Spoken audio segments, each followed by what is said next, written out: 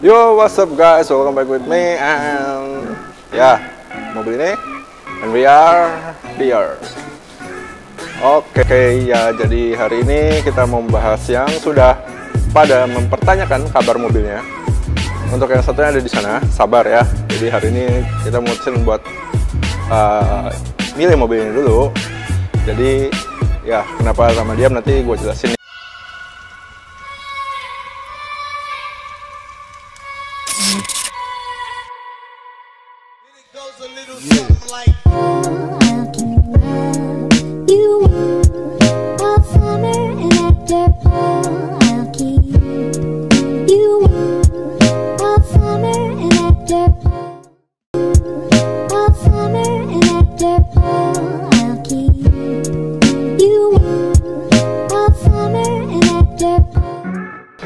Oke, jadi uh, sebelumnya gue minta kalian untuk subscribe dulu di channel ini. Ada di kanan bawah komputer kalian ada tombol subscribe.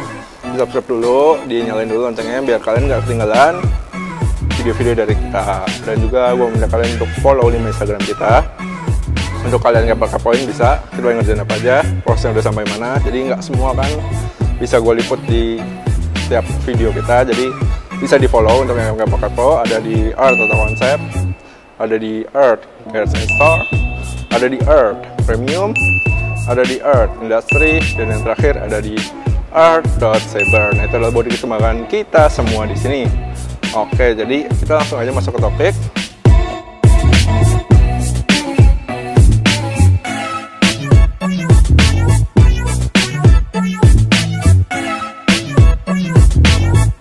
BMW E36 sedan yang kita convert ke coupe Nah, jadi banyak yang nanyain itu E36 apa kabar? Nah, ini dia jawabannya. Jadi ini BMW E36 Rizky ini udah sudah dipoksi.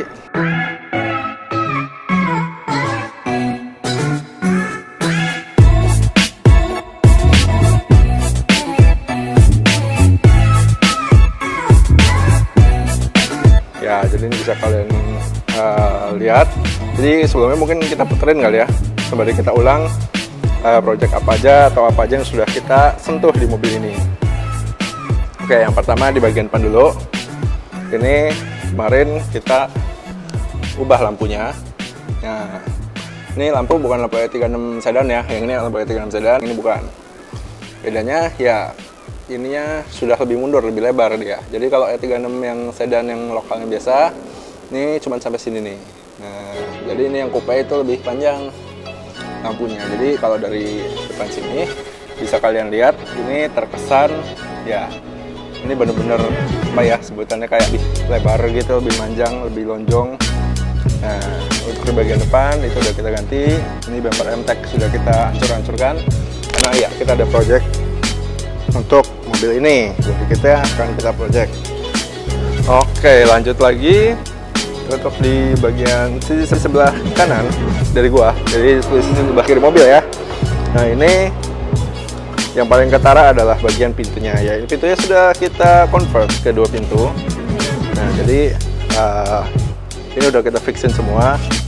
Kaca sudah bisa normal berjalan. Cuman ini karena dalamnya masih berantakan begini jadi kalau mau nyaikin kacanya power window mau dimainin kudu pakai aki. Jadi ini kebetulan nggak ada akinya nggak bisa gua uh, kalian pokoknya nanti di proses akhir pasti kita tunjukin.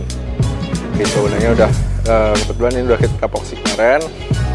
Jadi semua ini bagian mungkin udah ya menurut si Rizky ini sudah oke. Okay. jadi yang perubahan di samping adalah ya tentunya ini mundur. Ini mundur ke belakang. Dan kalian uh, ada yang tahu nggak apalagi yang beda di bagian sini ya untuk yang di bagian sini yang beda adalah kalau yang uh, kemarin itu yang dari sedan pintunya memang gitu prosesnya kemarin.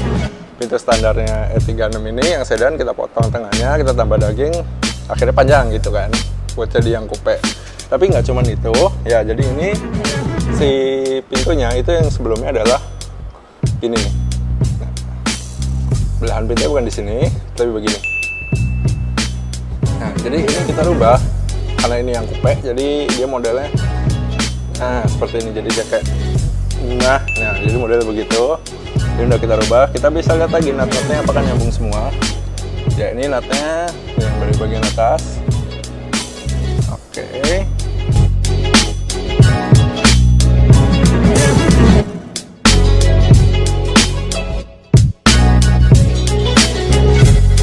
Ya memang udah nyambung semua ini udah fix modelnya dan lalu untuk di bagian pintu depan juga yang sebelah satunya satunya ini adalah ini juga beda nih. Nah yang sebelumnya adalah harusnya itu pintunya uh, nyampe sini nih, yang salah di sini? Yang salah harusnya di sini jadi ngebukanya sampai sini nih. Jadi ini dari sini nggak gini ya tapi nah harusnya begitu. Ini dirubah jadi begini jadi seperti uh, ya 36 coupe asli. Jadi fotonya ada di sebelah sini nah jadi kalian bisa lihat uh, menurut kalian itu gimana tuh udah mirip belum dengan si Rizky punya yang kita convert dari sedan ini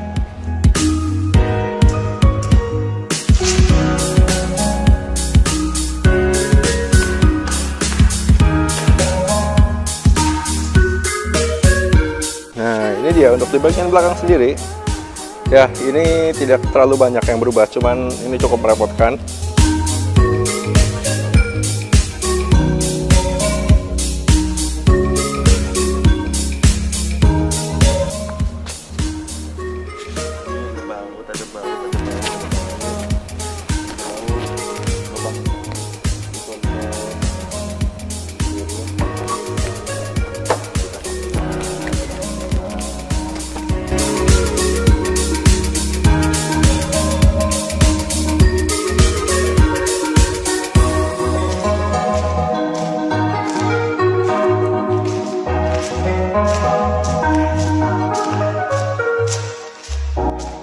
Nah, Mike, jadi menurut lo sendiri gimana nih, Mike? Uh, detail-detail yang Diki eh, si Rizky, bukan Diki, yang detail-detail yang Rizky perhatikan uh, seperti pintu, terus ini lampu sampai sedetail ini sampai dia beli yang versi GoPay-nya itu menurut lo efektif atau enggak, Mike?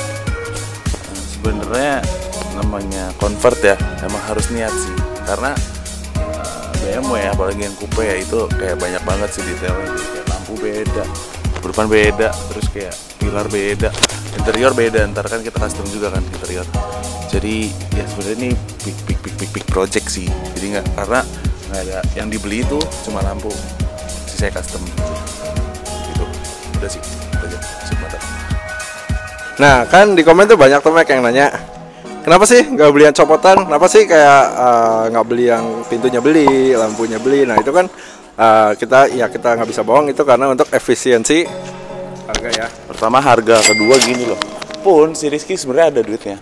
Barangnya lagi susah. Terakhir kayak waktu itu convert E30 aja eh, gua nanya beda harganya ya. Dulu dulu tuh masih dapat 20-an, sekarang udah sama bodi belakang udah harus paket ya itu. Udah bener-bener beli half cut depan ke belakang. Eh, itu udah 75 juta, itu 30. Itu nggak frameless tuh. Ini frameless. Bayang dong harga berapa ya nggak? Kemarin aja gua baru banget nemu ada kaca belakangnya yang bagian ini. Baru itu aja gue baru nemu setelah nih mobil udah mau jadi ya. Udah udah cat dasar ini kaca ini aja tuh gue baru nemu dan yang jualnya kaca ini doang. Kaca depan ini nggak ada. Jadi kan kayak susah banget. Ya mungkin emang gue nggak punya link atau gimana. Maksudnya misalnya kalian bilang gitu gak ada gue nggak ada link ya emang belum nemu juga. Soalnya kalau waktu itu nemu ya gue sama Rizky pengen ba- bareng gitu. Cuma kalau ini kan sih ya pokoknya kita udah kecebur juga udah bikin custom sekalian. Udah kita bikin semirip mungkin sampai kayak kemarin kan pilar berapa kali rubah nih. Ini berapa kali rubah terus ini ini dirubah lagi ntar. Jadi ya emang udah kecebur buat custom sih. Jadi kalau kata gua beli ya beli lampu aja sekalian kita bikin gitu loh. Pun ada beda ya kita custom car anyway gitu kan. Jadi ya. Yang penting bentukan sih apalagi udah ini udah di satu warna ya warna epoxy udah berubah udah udah mendekati banget ke coupe sih kalau kata gua. Cuman ya tinggal dikit-dikit lagi penyempurnaan ya. Ini juga kan masih cat dasar gitu. Jadi ya ditunggu aja. Makanya lama kan karena kita mau det- det- detail gitu jadi makanya lama banget. Kalau makanya banyak gue gue suka lihat juga banyak komen eh 36 coupe mana bang? Eh 36 coupe mana bang? Ya kemarin benerin besinya dulu terus kalau bentuknya nggak bener kita rubah besinya. Nggak mau dempul ya. Kenapa? Dempulnya tertebel diketok-ketok dep dep dep dep. Terus mobil berat. Nih Rizky kan sebenarnya mau buat drift juga kan. Jadi ya maksudnya bukan drift yang literally dipakai balap sih. Maksudnya kayak cuman dipakai di kota street street race gitu lah maksudnya mau ngegas dikit ya digas gitu loh. Jadi masih harus mikirin entengnya juga. Makanya bukan yang nggak dikerjain tapi ya kita nyempurnainnya ya di besinya bukan di dempulnya gitu. Loh jadi kalau diketok tuh ada ya. Suaranya kaleng ada beda. Tuh sama semua. Karena dempulnya tipis banget. Nah, sama gue mau nanya, Mac, berarti kan apakah uh, cukup cenglai gitu dengan membeli uh, hanya lampunya saja, hasilnya apakah cukup stick apa ya istilahnya? Beli lampu, beli lampu sama custom ini ininya apakah ah cuman beda dikit harusnya tahu gitu beli yang half cutnya aja atau gimana? Kalau gua sendiri ya, pertama gini deh. Pun kemarin kita beli bodinya segini dipotong ya. Set dipotong satu, ini mobil udah nggak bakal kuat banget. Si tulangnya tulangnya kan maksudnya dipotongnya tuh udah habis kan. Misalnya potong segininya doang, mendingan custom sekalian karena masih besi gitu kan. Selama masih besi masih bisa dibikin, kecuali lampu gitu loh. Jadi maksud gua mendingan yang bisa dibikin dibikin, yang nggak bisa dibikin beli gitu. Kayak lampu bikin kayak bego deh. ya nggak? Maksudnya ya lihat deh maksudnya sampai ke karoseri pun lampu juga masih pakai lampunya apa kan? Misalnya kalian kayak misalnya lihat ada angkot lampunya Innova gitu sama. Karena lampu bikinnya ribet. Jadi sekian dulu. Pokoknya ini video buat update. Buat kalian yang request tanya-nanya E E36 mana? Nggak hilang ada. Jahit jadi gitu deh. Jadi ini profil bannya berapa, Mac? Vega Master ring 17 Oh 215 40 Oh 18 Profil bannya yang ini dia eh, Rizky yang ini 15 15. 215 50 15 Coba cek bener nggak? Tuh benar kali ini kok benar bro. Benar. Benar. 50 benar 195 tapi. Ya gue harus nyentek dulu. Ah Gila lu. Tapi yang ini kan yang nggak dipakai. Nanti Rizky pakai yang 18 dulu Yang Rotikom yang dipakai dulu. BBS RS BBS RK 2 nya nanti mau disimpan dulu gitu. Jadi tungguin aja. Eh, Pokoknya ini udah tinggal penyempurnaan dikit-dikit lagi Terus naik chat. Pokoknya kalau udah naik chat kita bahas lagi Eh, Mungkin topik hari ini sekian dulu. Thank you for watching and see you in the next video